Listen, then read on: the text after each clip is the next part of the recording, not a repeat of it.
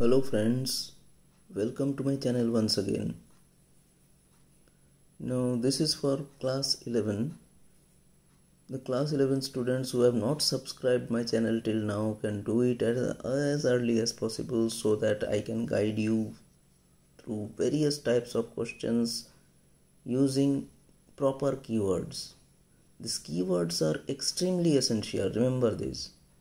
If you miss the keywords, you don't get any marks.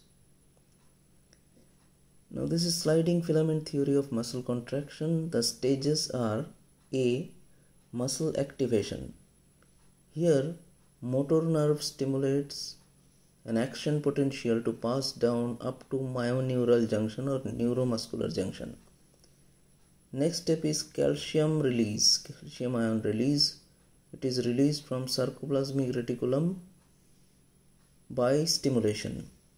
Number 3 is muscle contraction the calcium ions that was released binds with the troponin protein allowing actin and myosin to bind together. Next is hydrolysis of ATP. When actin and myosin cross bridges contract by hydrolyzing ATP to ADP, this gives energy to the myosin head to bind with actin. Next is recharging. The ADP is resubstituted to ATP and actin myosin move apart.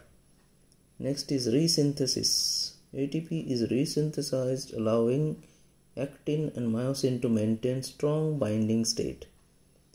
And last is relaxation in which stimulation of nerve stops, calcium ions is pumped back, actin and myosin return to their unbound state.